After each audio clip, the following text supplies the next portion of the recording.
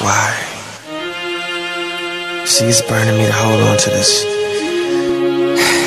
I know this is something I gotta do, but that don't mean I want to.